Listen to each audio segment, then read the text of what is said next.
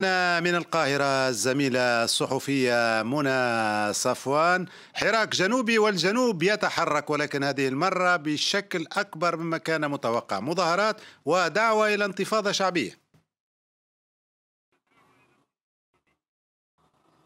نعم أهلا بك أستاذ توفيق. يعني نحن نتحدث اليوم على آه، ربما فوضى جديدة دعنا نقول في الخارطة السياسية اليمنية. إن صح التعبير الحكومة الشرعية تبدو مرتبكة.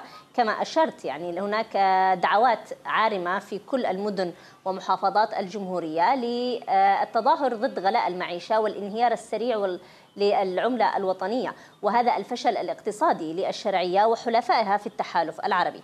ووسط هذه الفوضى يأتي إعلان فك الارتباط ما بين المجلس الانتقالي الجنوبي والحكومة الشرعية بشكل رسمي بل والدعوة للاستيلاء على المؤسسات الإرادية للدولة في الجنوب كاملا. وهذا يعني أنه ما يشبه الانقلاب الجنوبي أو التمرد الجنوبي إن صح التعبير على الحكومة الشرعية. يضاف إليه التمرد الذي حدث قبل خمس سنوات الذي قام به الحوثيون في صنعاء.